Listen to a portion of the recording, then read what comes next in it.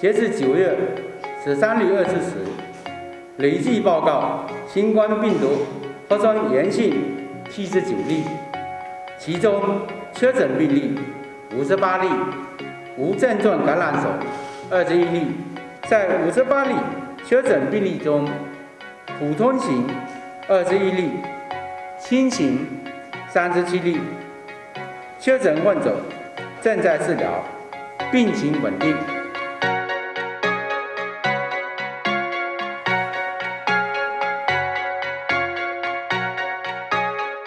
是九月十三日二十四时前，全面完成先有县全域核酸检测。